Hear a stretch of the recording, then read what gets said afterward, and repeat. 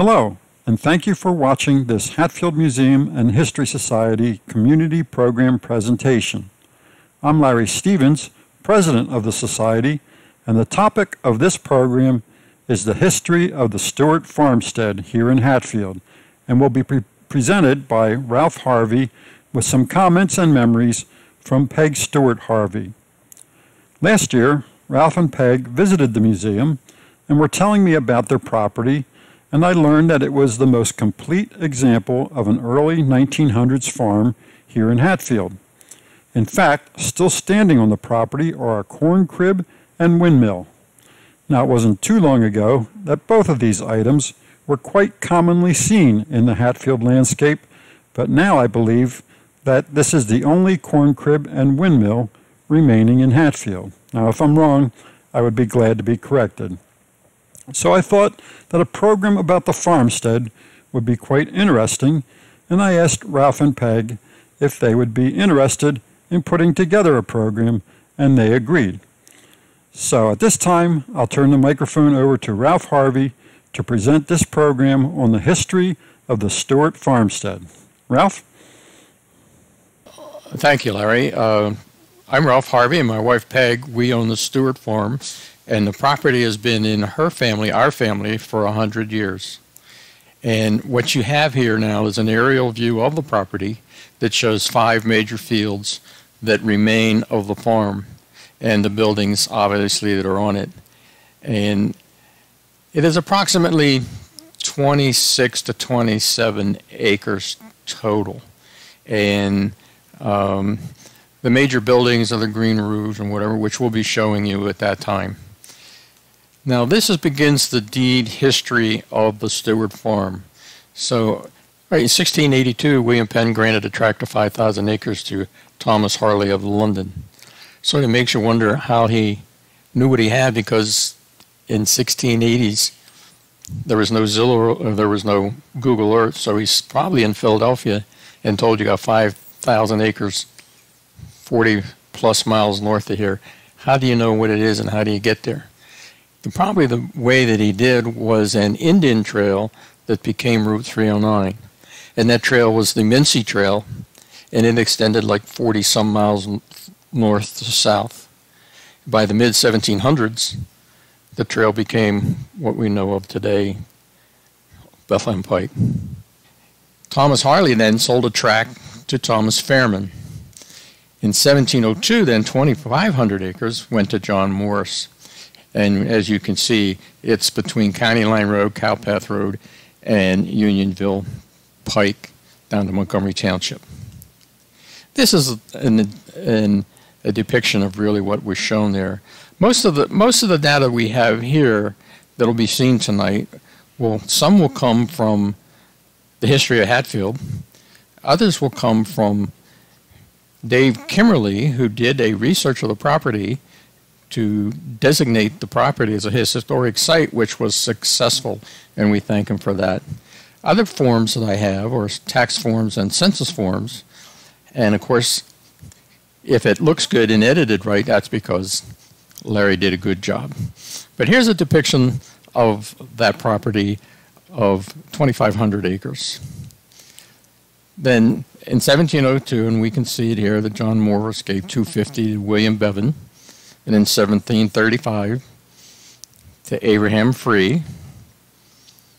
Then the property was sold to Jacob Shooter. Now, Jacob might be the first resident of Hatfield Township because you can see the property is Tree Town, Line Lexington, Frick's Burial Ground, and over to William Kerr's residence, which was maybe if you want to call it the center of Hatfield Township at the moment.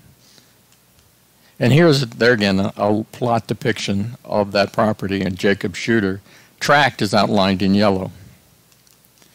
Again, back to the history, we can see that 1740 to 48, Jacob Shooter gave some property to Jacob Wireman.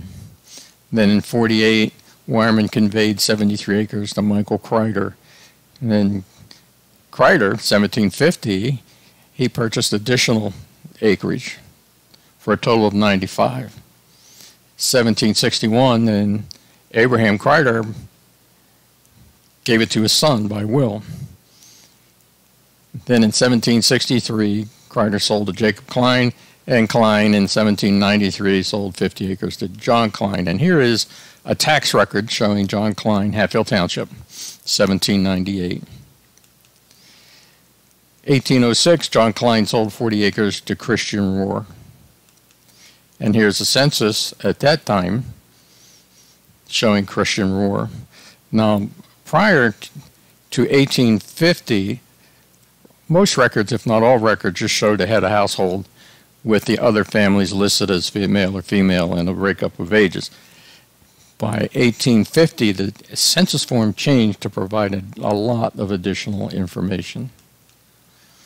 In 1830, Jacob Rohr sold the property to Christian Benner. And here again, the 1830 census shows Christian Brenner and additional ages of males and females that are on the property also. It looks like there's only two, himself and his wife, at least what's shown. 1837, Christian Brenner sold the property to his son, 31 acres. In 1837, Christian Brenner sold the property to William Rittenhouse Sr. Here's a map of 1848 that showed the property at the corner of Line Lexington at the bends. And you can see at the top where Clymer Road is, Line Lexington Road doesn't continue to Old Bethel or Bethlehem Pike or Old Bethlehem Pike. So that road didn't exist yet. Here's, a, here's the 1850 census, which provides more information of properties, owners, and their families. And you can see William Rittenhouse is 45 and 35, then William Jr., Sarah, and Mary he's listed as a farmer and his value is listed at 1800 and they were all born in Pennsylvania 1857 map additional shows the bends in the road where the property is and Line Lexington Road still hasn't gone to Bethlehem Pike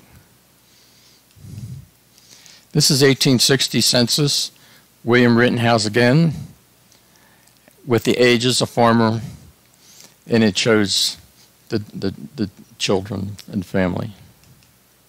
1861 map of Hatfield. You can see the Rittenhouse is on the on the property, way off the road, which it still exists today, and Line Lexington Road now continues on to Bethlehem Pike. Back to the history. After William Rittenhouse died in 1864, his son conveyed the property to Henry Robinson. And then Robinson gave it back to Rittenhouse in 64. And in 1884, Rittenhouse Jr. sold to Sarah Kaler and his and John Kaler. What I could find about him was the only Kaler that was in Montgomery County was a, was a, in living in Norristown, and I'm not real sure if he moved up here or not. But in 1865, they sold to James Gamble. 1870 census shows Edward Gamble as the owner, the children and wife as a farmer. Personal value of property, $100. He was from Ireland. The wife and the, obviously the rest of the kids were from Pennsylvania. If you read some of them up above, that uh, a lot of you know there were whether they could read or not, go to school or not, and it's just the additional information. Okay, the 1871 map shows Joseph Gamble as the owner. As, as you can see, the property and house sits way off the road, which it still does today.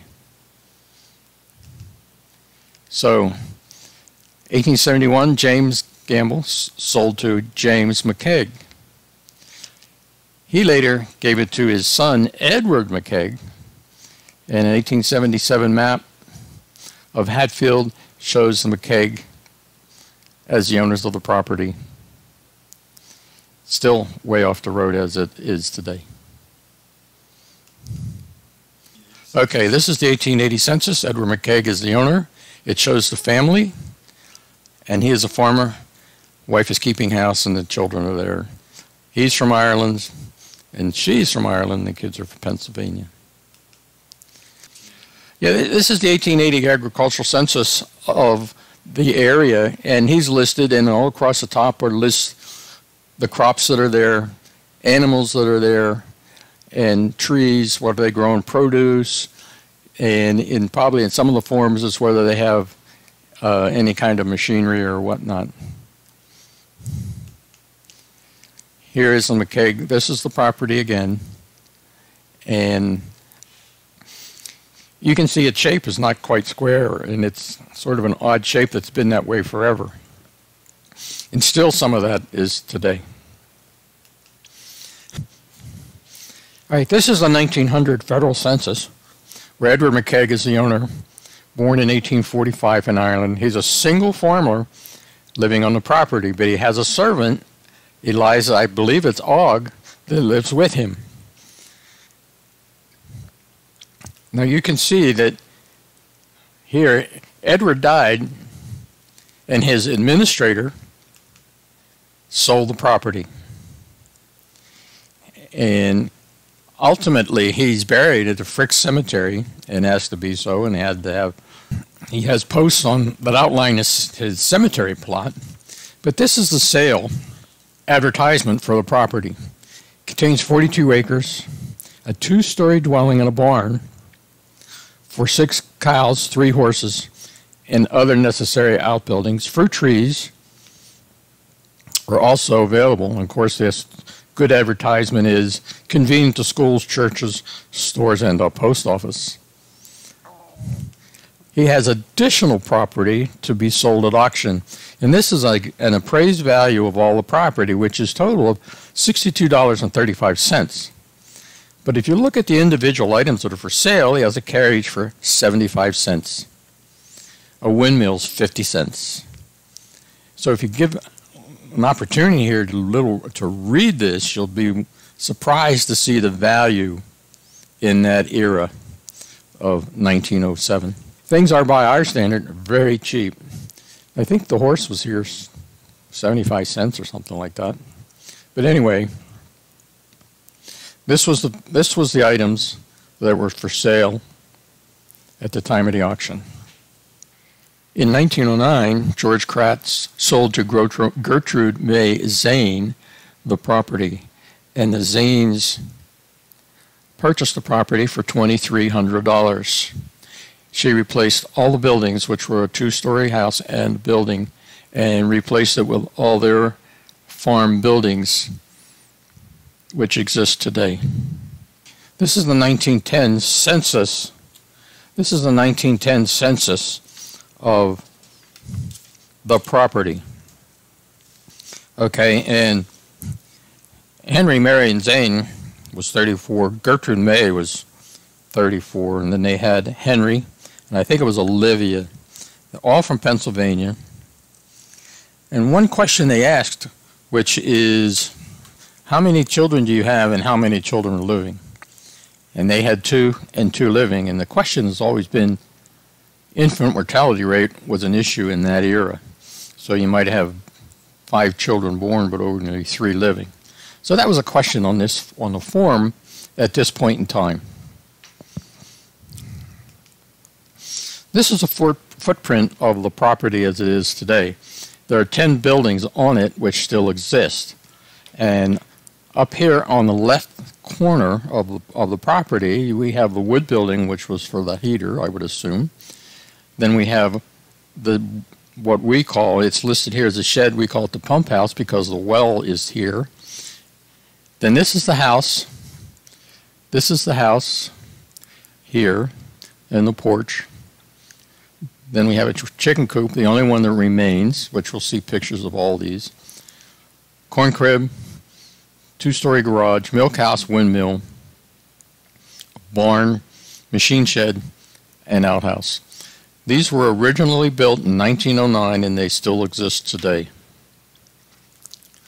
This is a depiction of the entrance to the property. And you can see the outhouse on the left, the machine shed behind it, the barn to the right of that. The garage is to the right of that, and a little bit you can see of the milk house is to the right, and the far right. Now, in that era, prior to this, like 1800s, the house was always built adjacent to the barn. But when they started in the 1900s, they didn't want to have the house near to the barn because of the odors and whatnot. So the house was planned to be away from the barn and always a good view and the house was placed to have to show the good view. And as a sanitary issue to make it look good, where the cows were were painted white, the milk house interior was painted white. This was what a standard barn looked like and was advertised in that era, and never showed an overhang in the front, but it, and it's just a standard rectangular building. Where this barn is different. It has an overhang with six posts. These six poles that you see here were the same poles that were on the house. And it was my thought that when the idea to make that side of the porch, the right side of the porch, the kitchen, these poles were then used to make the overhang of the barn. The roof itself was obviously wood framing, but the it was a tin roof over some subroof material, which over years rusted and corroded and pinted, and we had to get tar and retar the roof every year after winter. The barn itself is 64 by 36.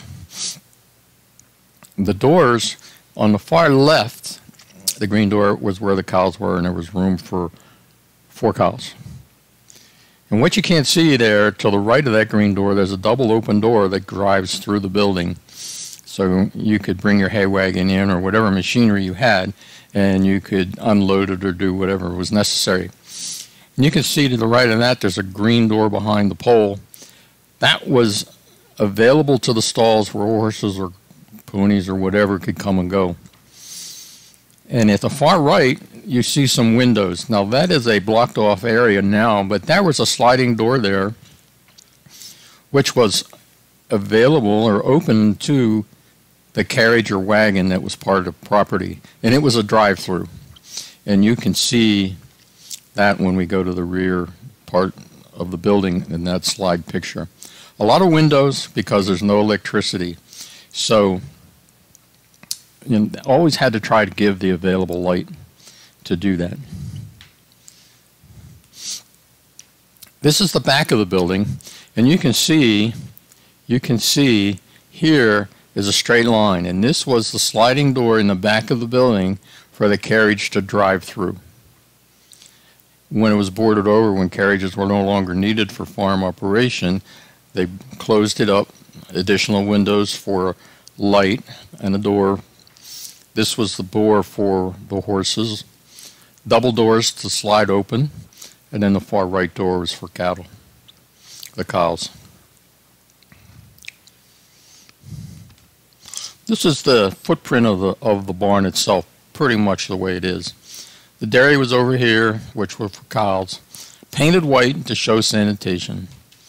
This was the drive-through area with the double doors, where you could bring in bring in whatever your wagons, tractor, stalls for the animals, and a drive-through for the carriage house.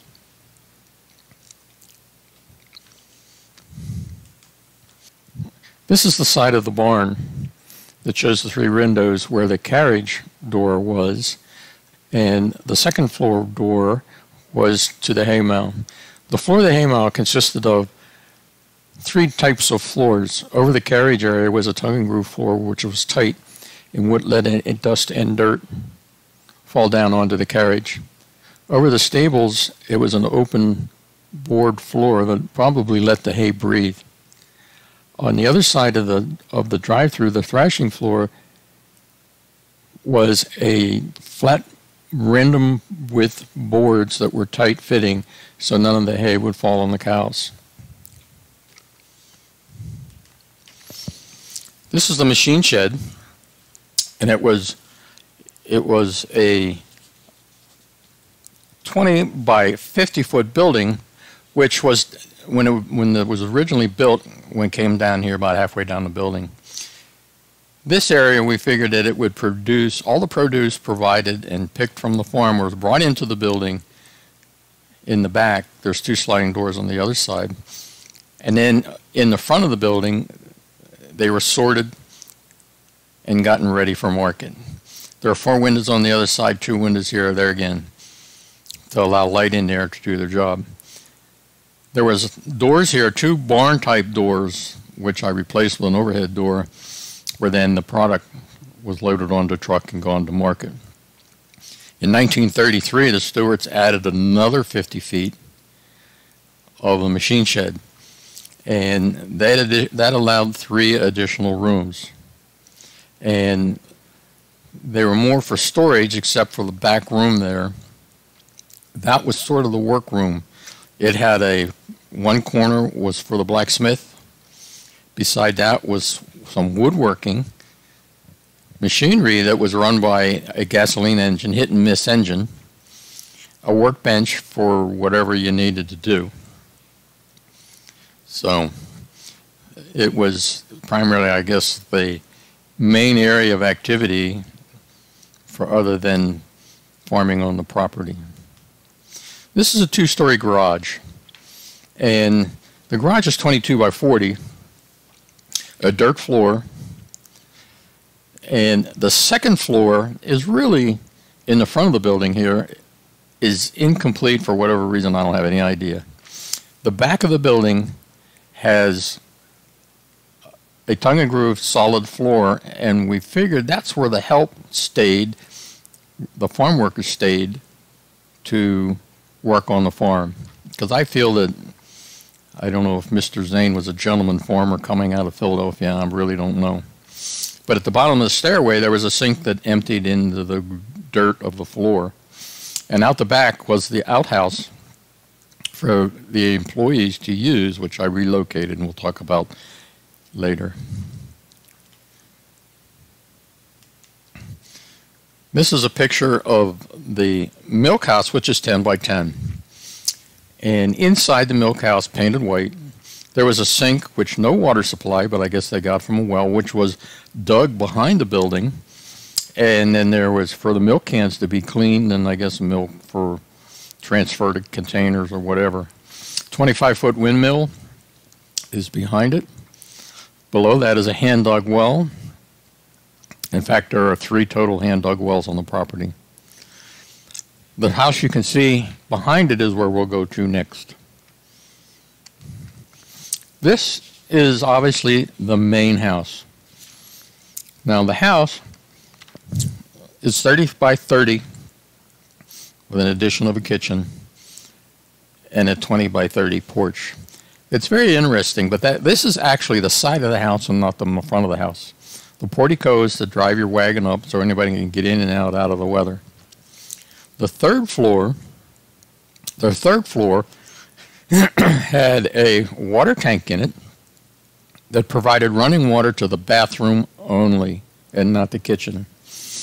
and water was pumped up there via a jack pump from the well operated by a gasoline engine. No electric in the building until after 1933. So a lot of windows to provide light into the building. The small window on the second floor, center, there again, the, there was a walkway, there is a walkway between the two rooms and a closet, and that provided light into that area. Below, on the first floor where you see a door now, there was another small window that provided light to the stairway because this house had a master stairway and a back stairway. And where the door is, is where the back stairway came down to the first floor. The heating system, and you wonder how it would work since there's no electric, but I think it was steam heat. And since Mr. Zane was a builder down in Philadelphia in the beginning of the turn of the century, steam heat was coming into commercial buildings. and I think that's what came here. Because on the third floor at the end, the last radiator, radiator has a large pressure dial, which is no longer needed but still exists on the radiator. And I think that steam heat was used to heat the building because you had no electric, you had no circulation or circulator. So to me, it was the only way to get there. Now, what you don't see here also is the second floor, the porch that hangs over the first floor. On top of that were railings that look just like the first floor railings.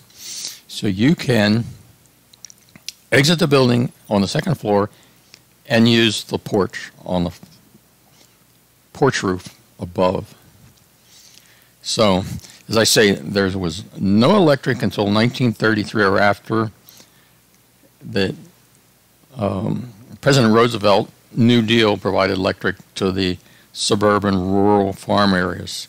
And that's when I figure electric came. So it's either gas lamps, carbide gas, which I believe the first floor had some. We have carbide, we have the gas lamps uh, in pieces on the property, but I have no way of knowing. There's no way that I could see that where that gas entered the building to be used because the generator was outside, the gas generator. And I know Melvin, her Peg's father, said that you lost the gas on the inside. You don't want to go outside with a lantern on the outside because it could be that you would get a, a surprise. So that's the side of the building.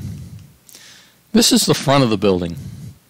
The front door, front door, this window on the second floor would slide up into the wall to let you exit the room and enter the porch, the second floor porch.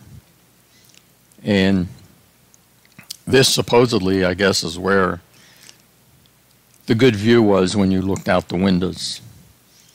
But you can see the, the porch, the railings, and um, it's a three-story. This win, this room up here is the full length of the of the house, and there are two other rooms on the other side of the stairway.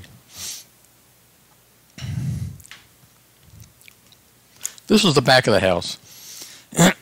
there again, this window here would slide up in, into the wall and let you exit onto the porch on the second floor.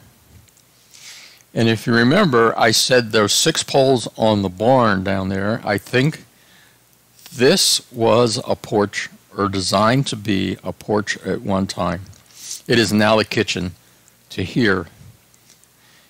And that decision was made after the house was built, but probably not moved into, because the inside wall is made the same way as the outside wall material, and there's a window. Now, who would put a window that would look at a storage area? So it's my guess is the decision was made after the house was built, and they made a change and put this in as a kitchen.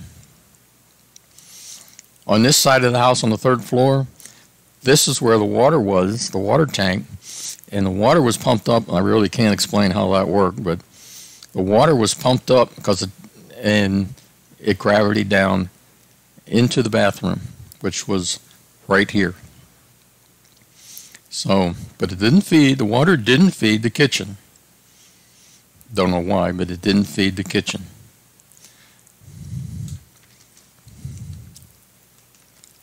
This is the footprint of the first floor as it is today. The house is made into apartments, an upstairs and downstairs apartment. The master staircase, which is over here still exists, but the landing has been removed, which we still have. The front door is a bedroom, living room, and it was a dining room, and then the kitchen and the storage area, which I said, there's a window like right here. Why would you have a window into the storage area? But and the upstairs, the upstairs is four rooms and a bathroom. The third floor is three rooms total. These are the two buildings in the back. This is the pump house. This is the pump house, which does have the well dug in it and it provides water to the house. It also has a little work area and whatever if it was needed, and but it's very rarely used or open because it's good. This is the the wood building. There, I guess, was would provide a source of fuel for the steam heat heater downstairs. The pump house is 10 by 10 and the wood building is 8 by 10. Next is one of the chicken coops. There were two of these. I was able to save one, and it's a 10 by 14 building. Corn crib. It's a 6 by 14 building, and um, it was close to the barn. This just shows, even though there's a deer in there, this shows, we call it the cow path because when you would let the cows out and go to the pasture, they would go down here and enter the lower fields. This is the back lane looking towards looking towards the chicken coop. The house is over here to the right, which you can't see. It's uh, it's always been stone, and I'd like to leave it that way. And um, it's just um, very narrow, but it does it's functional. This is lane, the lane looking the other way, where you got the barn and the garage. This is the back door, obviously to the garage. The employees or farm hands would live up here. Sink would have been on this corner. The outhouse was over here for them, but I moved it because of trees issues. Then the machine shed is, is all far further down. And you can see this is about where the 50 foot area ended, and they added the additional 50 feet. This is the outhouse, which I relocated. It's 52 inches by 52 inches, two hole outhouse. And I'm, I'm no expert in outhouses, but it's not a hole in the ground, it's a tray. Uh, and that's all I'm going to say. This is the view from the front door. Not a bad view. Of course, it's uh, uh, still an open field as you see. Now, 1911, the Zanes were bankrupt and it was seized by the sheriff. And it was sold to Amos Alabak. And he bought it for the whole property, 75 bucks. This is the advertisement for the property, for the sale. Now, it gives you a little bit of Latin long and the acreage. So, but what's important here, it's a three-story, what they have here is a three-story frame dwelling, 30 by 30, one-story kitchen. And so they add on, even though this was, this was done in 1911, 19, 19, yeah, 1911, the decision to close off the porch was already done. Rooms, first floor rooms, third floor. It's got a cellar porch, three wells, and the tank is on the third floor to provide water to the bathrooms. 12 foot overshoot on the stables for six horses and other outbuildings. So all that sold 75 bucks. Then in 1815, and Amos sold it to Herman Baer. Now this is the Herman Baer census. It's pretty much, pretty much available to see on itself. Now Herman is on the first page, which he's down here. Okay. So Pennsylvania. He's from Germany. Then the rest of the family is on the next page. So the wife and then the children. So in different ages.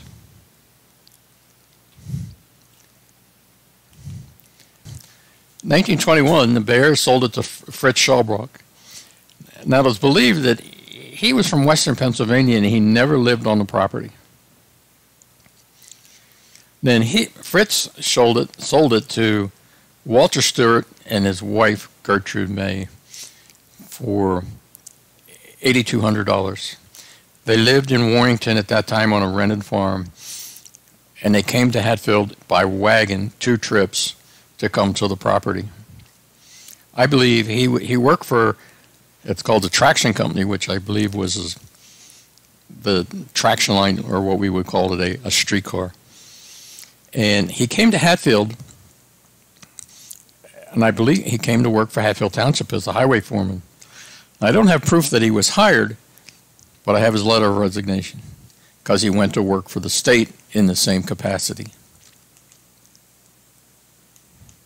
This is showing the transfer of the property to the Stewarts for $8,200. This is the 1924 crop harvest, and they say it's a little hard to read, but it it gave it gave what the Stewarts have as three mares. Hold on, excuse me. Hay is 15 acres. There were three males, two females, 15 apple trees, 12 peach trees, two horses, three dairy cattle, 52 pullets, and one automobile. That was what the 24 crop harvest showed that they had. Of course, didn't talk about telephones and obviously no electric. This is the 27 farm census, which I wrote down because the other one was hard to read. And they had, and what you can see here, no kitchen running water. So they still had to go outside and get well water. No milking machine, no truck, no tractor, no radio, which is you know, today you find radios in the trash every day but if they were important enough to be accounted for, then, of course, you needed electric too. No silo and no electric. What they had was a furnace for heating, an automobile, a gas engine was the hit and miss engine that did most of the work. It was a popular machine in that area, in that era, for farmers to have this because it could be pulled around to different areas to do work to operate some machinery like a thrasher or, or whatever on a farm and in 27 they had a telephone. 42 acres, 5 acres of crops, 5 acres of hay, 40 apple trees, 4 pear trees, 3 cows, and 50 hens. This is the Montgomery County Census of 1927. After everybody turned in their census to the state, they compiled it and published a document that by county, by municipality, what the farms were. And here it shows Hatfield Township had 71 farms, and the owners were 66, owned and operated by the owner 93, and managers and so on and so forth. Next page just shows males, 44 males, 46 females, then the kids, a lot of kids a lot of hands on the farm. Total acres were 3,029. Acres per farm farm per average was 43. So in the total of acreage for crops in Hatfield was 2,004.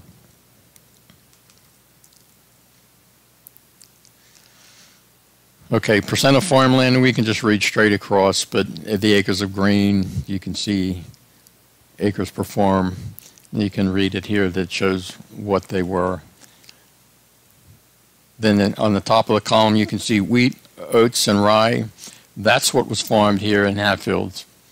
346 acres. Most of it was oats. Then other other smaller amount for the for the rye and wheat. Buckwheat, there again, buckwheat, potatoes and tobacco, not much. Potatoes were grown. Hay and apples, a lot of hay a lot of apple trees. Okay?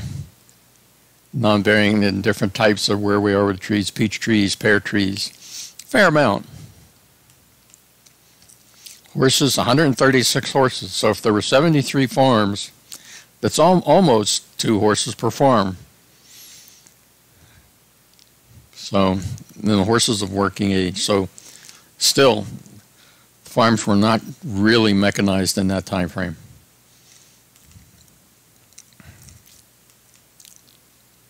The cows, fair amount of cows. Like an average of five cows per farm. Another cattle, and you can see it reading across. The pigs and chickens, a lot of chickens, 18,000 hens, a lot of chickens. And I guess we can speak to some of them. So you can, uh, just reading across the column, you can see that it, uh, chickens were a big event in Hatfield Township. Bees, not so many.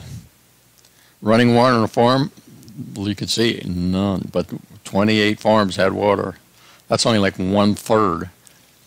Heating systems, 44, and I would assume they must be room heating systems.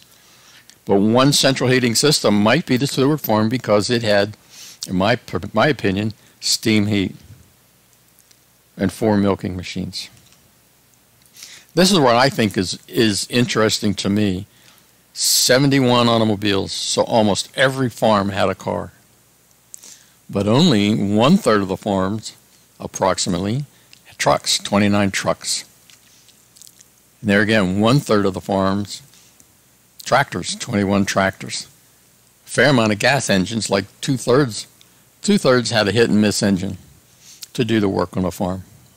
And to me, that's interesting, and it gives you a little bit of an insight of what farm life was in Hatfield at that point in time. Phones, maybe two thirds had a phone, 16 farms had a radio. Silos only eight. Electric, and there again, another, I would assume, plant is like a local central electric system. There wasn't any. Stations, I'm really not sure a station, unless it was an on site system.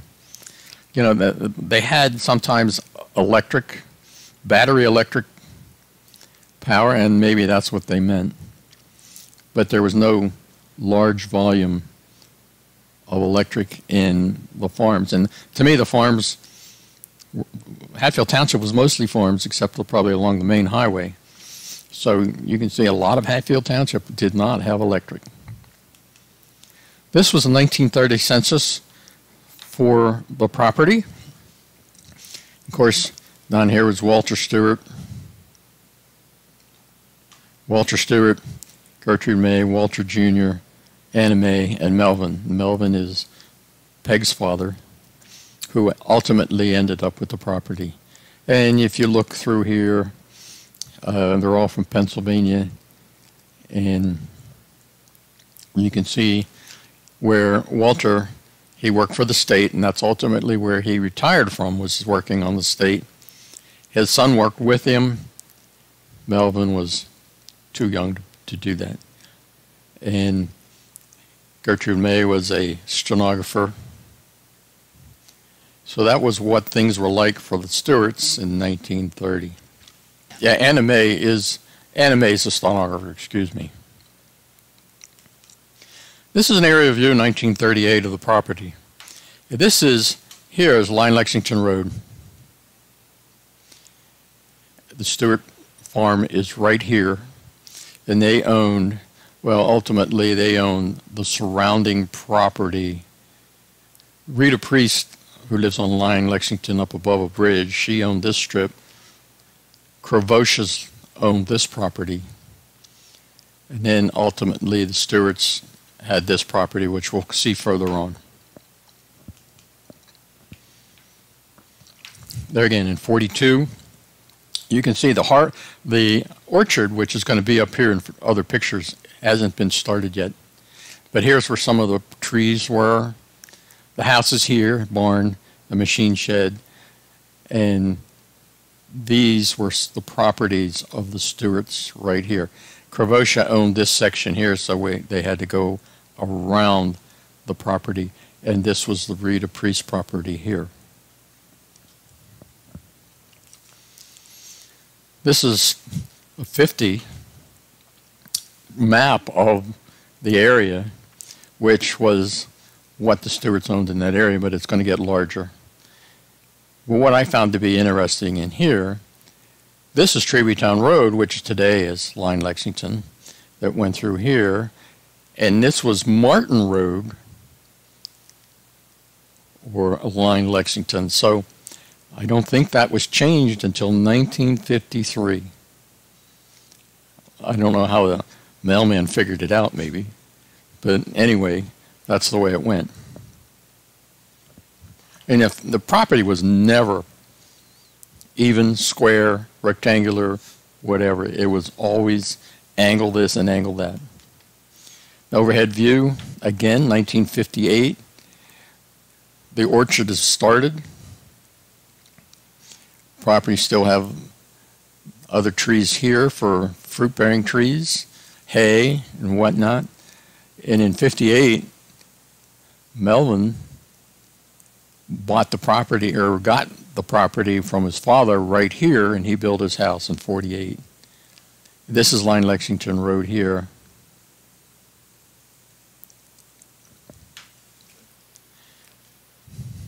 So in 67, when Peg's grandfather passed, Walter,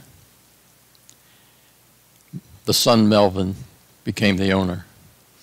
There again, you can see not much has changed. The orchard's a little bit better depicted. Still, the fields were probably hay fields. Some of the fruit-bearing trees didn't survive, but not much else has changed. Line Lexington Road.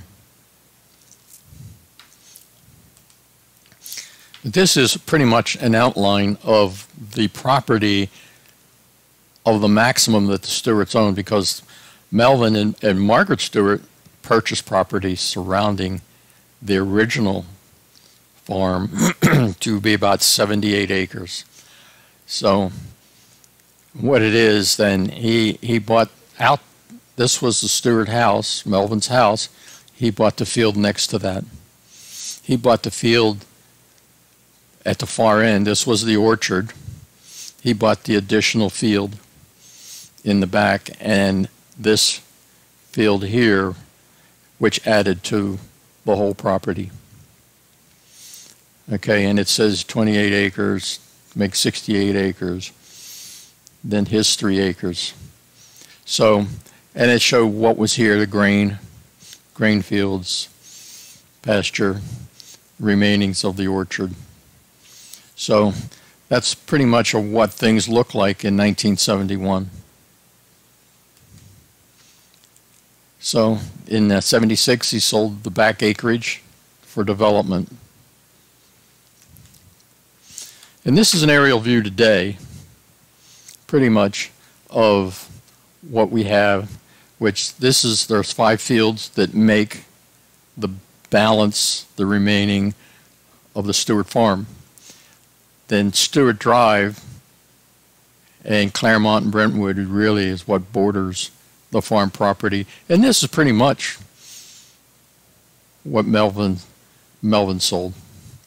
This over here was the Rita Priest property, and this little strip in here was the Kravosha property. So, so the it's surrounded. It's surrounded with houses as this shows in the, in the, in the plot plan view.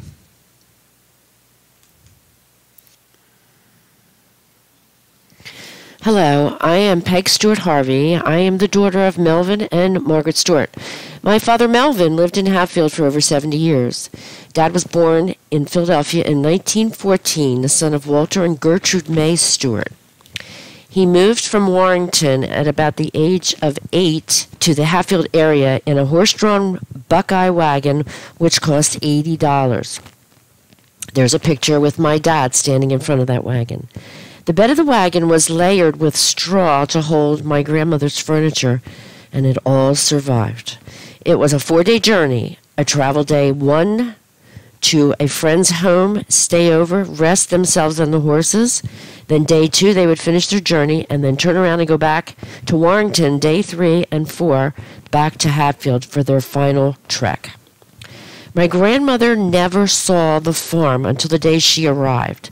Turns out that a lot of farms in Warrington were getting struck by lightning, and she told my grandfather, We need to move. Brave woman. So they moved in with three children, no electric, no free running water, and had to start all over again on a new farm. My father was a graduate of Hatfield High School and Philadelphia Trade School for carpentry and welding. He worked in Philadelphia for Turner Construction for 31 years and farmed at the same time. Imagine he'd worked all day, come home, milk the cows, feed the animals, work on the farm until dark. One thing my dad always did and was faithful to do was he would always feed his animals before he would feed himself, something that Ralph and I have done to this day also. My dad was also a building commissioner in Hatfield Township in the 60s. He was a building inspector for Hatfield Township for eight years and retired in 1979, and he passed away in 1991. My mother, Margaret, Jeanette Sheik Stewart, born 1917, also in Philadelphia, moved to Lansdale at the age of three. She worked in Lansdale Textile and Interstate Hosiery and Glasgow Knits as a designer and supervisor. She did a lot of volunteer work in her lifetime and was a very active member in the community. The farmstead was a working farm cows, horses, chickens, even a few turkeys, and the farm has been in my family for over a hundred years. My dad always seemed to be working on the property. Actually, on his wedding day, he was plowing a neighbor's acreage before heading to the church. My grandmother reheated his tub water three times. My parents married in 1940 and moved right onto the farm, an eye opener for my mom, because my dad was the country boy marrying the city girl, and it's quite the opposite for Ralph and I. I married the city boy and brought him to the country. Thankfully, he's loved it ever since day one. I've lived on this property my entire life and have had the privilege to walk the fields, ride a horse, and now I roam around on a golf cart. Modern times, right? This farm was a truck farm, a dairy farm, egg farm, and several crops. As a preschooler, I'd ride in front of my grandfather's old green truck to deliver eggs, vegetables, and milk to customers. I was always my dad's sidekick and helper. A vivid adventure was one June day we were planting corn. He was on his Allis-Chalmers tractor and me on the back seat of a corn planter. My job? Simple. Raise and lower a handle on the corn planter at the end of each row. Then my dad would move to the next row and I would squeeze the handle down and lower it. All was going great until the skies were getting a little darker and a little darker, and there was still a half an acre of corn to plant. So he'd speed up. But my dad must have forgotten that I was on the back of the corn planter. He turned the corner, he lined up for the next row, and he gunned it. Mind you, I was on the back of the corn planter. Was, and was tossed off. I ran up the adjacent row till I caught up to my dad, and he stopped the tractor and he said to me, What are you falling off for?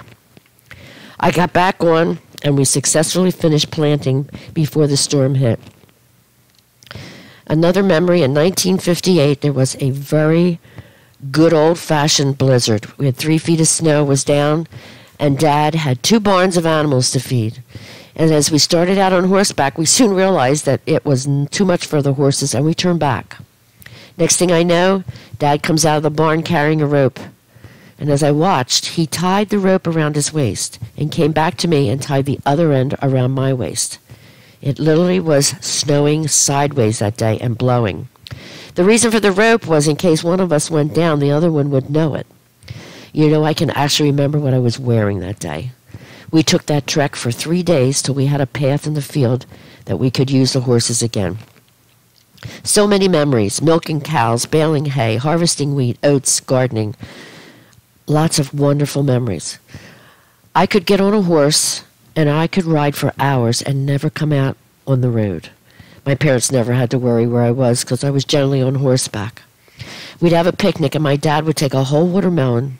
He'd put it in a burlap bag and drop it down the farmhouse well. It was cold in no time. My mother learned to can from my grandmother, and she'd work all day and come home to a back porch of tomatoes, peaches, or berries, and she'd work all evening to get things canned. There's still dozens of jars of canned goods in the farmhouse basement. Every August, Mom and I would do corn. I actually have the corn grater that my grandmother used. We'd pick it, we'd husk it, we'd cook it, and we'd freeze it. And such a great taste of summer in the middle of February. One thing we do have, which is absolutely a blessing to me, is my grandfather was a person to journal. And he journaled every day, starting and I think it was in 1914 or 1915 and we have the weather. So he would start his journal out with what the weather was that day and whatever he was doing that day. There are items that still ex- exist. There's a sleigh, there's ox, yokes, milk cans, old implements and tools, carbide gas lights, an egg scale, furniture, Dad's Alice Chalmers tractor. There's a lot of memories there too. Milking cows was a two times a day task for a farmer. I'd help, and once the cows were milked, Dad and I would go up to the farmhouse and we'd strain the milk and we'd leave two quarts for my grandmother and we would take the rest home. One time I was walking down the, the long walk, it was almost dark, and I was walking behind my dad. And he'd hidden behind a bush and he jumped out and he scared me. Yep, you can guess what I happened. I dropped two quarts of milk. To hear my father say, What'd you drop the milk for? He was a trip. There were four chicken coops.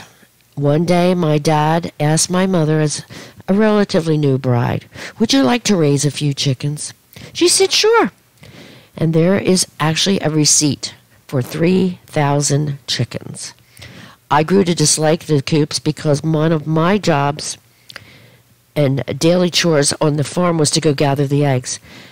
Now, I did not have to contend with 3,000 chickens, but there were some truly nasty hens who did not like me reaching in under them for their eggs. I got pecked regularly, a reason why Ralph and I never had chickens.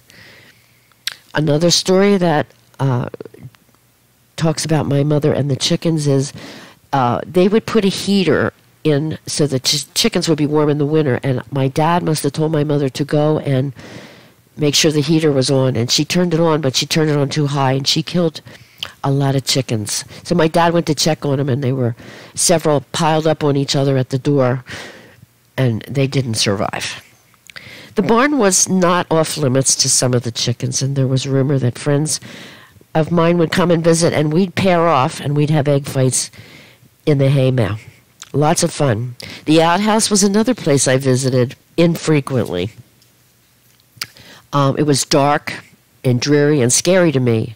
And Ralph moved it several years ago because it was in a place where it was getting damp and too much water was around, so we did move it. When we moved it from its original place, we found my grandfather's black wool sweater still hanging on the hook. It's moth eaten, but we left it there because it's definitely a memory for all to see. Probably a hundred year old garment. The farmhouse is still inhabited by two apartments. I can still see my grandfather sitting in the parlor in the corner in his rocking chair. He'd be watching to see if anyone would come up the walk. Interestingly, various apartment dwellers have seen a man with a limp and walking with a cane coming up the front walk. He was also heard going up the back steps. His limp was due to the fact that as a younger man, he contracted yellow fever, which he survived, but it left him with uh, hair loss and he developed a severe skin condition. He is one reason that I became a nurse because I used to be his helper and I would help him clean and dress his legs every day. And I liked helping him, and that pushed me in the direction of nursing. I was introduced to farming as a child. My mom always said she had me by one hand to sit on a piano bench, and my dad had me by the other and my dad won. I rode from age five, and Ralph and I rode horseback too after we were married. We rode double. Each of us would carry one of our sons until number three son came along and there was nowhere else to put him, so we stopped riding horses. nowhere to put him. I baled hay, and it was my job to push the hay bales away as they came off the conveyor. One time it sped up, and I couldn't keep up. A bale knocked me over, and I was literally underneath it. My dad came to my rescue again, and here's what he said What are you doing under there? He was a gem. He was my dad, and he was my hero. One of a kind, always honest and upfront, whatever he had to say. All these memories were created because of these buildings. I have taken the time to journal about the farmstead for our children and my grandchildren so they can have an image of the past and know how the Stewart farmstead evolved and existed over the generations. Like my grandparents and my parents, Ralph and I have moved onto the farm, and we did that as a newlywed couple. As time has passed, my husband and myself have felt it is important to maintain the farm, to preserve it for our future generations, and keep it in its original state. My parents and grandparents would be so pleased to know that their farmstead is being recognized by the Hatfield Historical Society and the National Registry.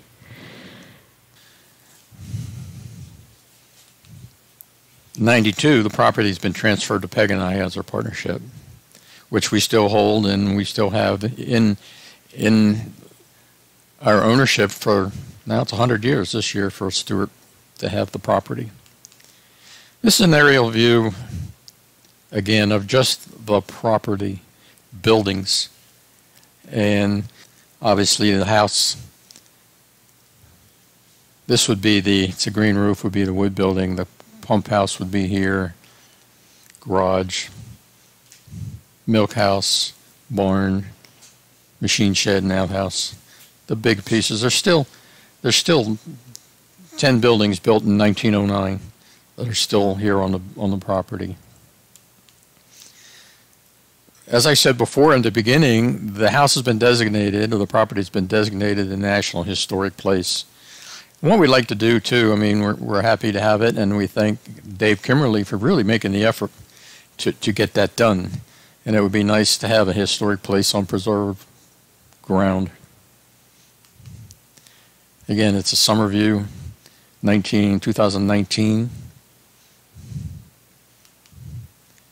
And again, outhouse, or excuse me, milk house, windmill in the house. And again, the aerial view of the property as it is today, five major fields with the buildings on the property. I'd like to thank Larry for allowing us to present this for everybody to see and hopefully it has an interest in them too. Thank you. Thank you, Ralph and Peg, for presenting this interesting program for us, and thank you to all of you who watched it. I hope that you enjoyed it.